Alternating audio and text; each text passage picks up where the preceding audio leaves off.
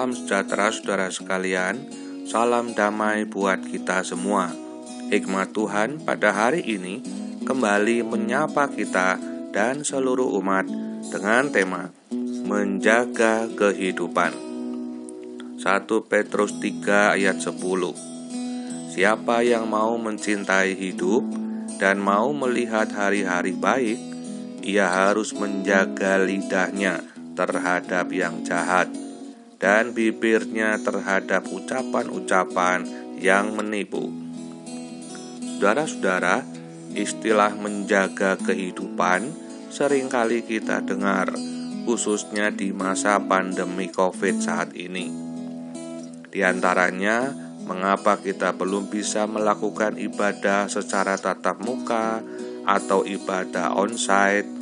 Alasannya adalah untuk menjaga kehidupan, mencegah terjadinya penularan virus di tengah kerumunan. Karena itu, kita tetap harus memakai masker, menjaga jarak, dan mencuci tangan. Semua itu tidak lain adalah untuk menjaga kehidupan. Saudara-saudara, kata "menjaga" sangatlah berperan dalam hal ini. Menjaga kehidupan itu tidak berarti hanya menjaga kesehatan ataupun menjaga kebersihan, tetapi juga menjaga relasi atau hubungan, menjaga hati, dan juga menjaga lidah. Mengapa kita harus menjaga jarak?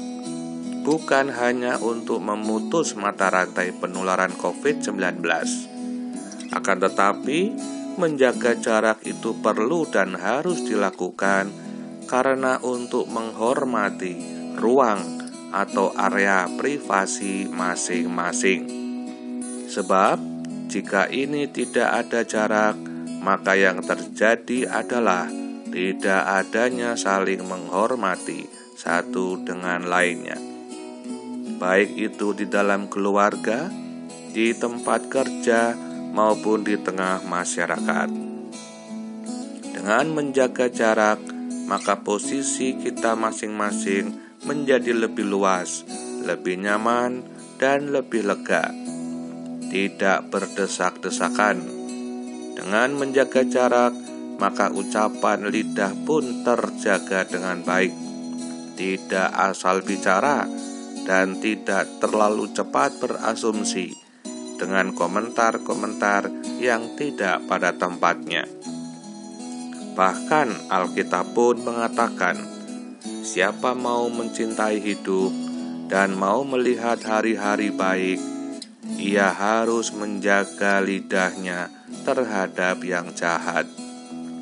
Karena itu, berbahagialah ketika kita bisa menjaga lidah dengan baik, maka kita akan dimampukan untuk menjaga kehidupan yang kita cintai, agar tetap berada di dalam hari-hari yang baik.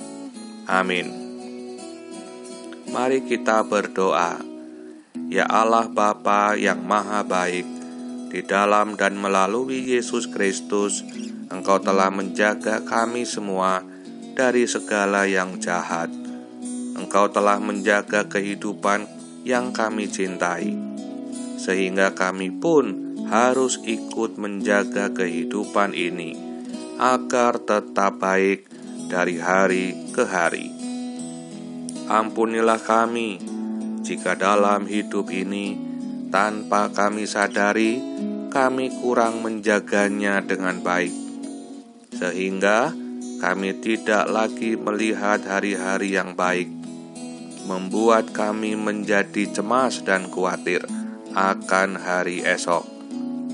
Tolonglah kami, ya Allah, agar kami menyadari pentingnya menjaga kehidupan yang kami cintai ini. Tuntunlah kami pada hari ini di tengah pergumulan yang ada untuk bisa menjaga lidah dengan baik, sehingga kami dapat melihat hari-hari indah yang selalu Engkau nyatakan di dalam hidup ini. Terima kasih Tuhan, Engkaulah yang empunya kuasa dan kemuliaan sampai selama-lamanya. Amin. Kiranya Tuhan Allah memberkati kita semua. Salam sehat buat saudara. Sampai jumpa pada renungan berikutnya.